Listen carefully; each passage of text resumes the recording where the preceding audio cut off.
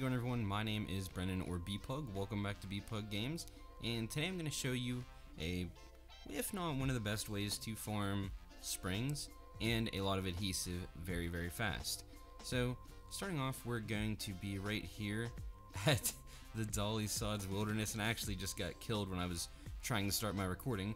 So we're going to go back to my dead body over here, and they're actually already killed one of these shaggy Yao Guais here. These guys are going to drop springs but there was a legendary one we ended up getting pretty lucky with, so let's see if it's still over here by my dead body and possibly kill it.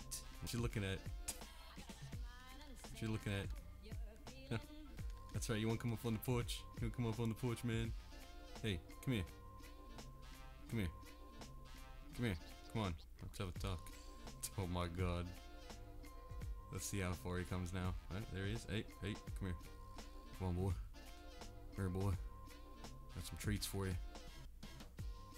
Come here, boy. Ha! there we go. He's dead. So this is what you get. Um, this was a legendary one. There's a troubleshooter's Gauss rifle, I think it is. Um, some Yao meat, some other cool stuff. And the springs right here. So this is the springs. You usually get four to six. This was uh, four to five actually, maybe is what I've been getting but I got six off the legendary right here and some waste acid. So there's, I don't know how many bears usually spawn up here. I've seen about four so far. Alright, I, uh, I ended up running from this guy and cornering him around this and got a treasure map. Here, we'll take that. Some more stuff. And as you can see, holy cow, eight loose springs from this guy right here. Thank you guys so much for watching this video.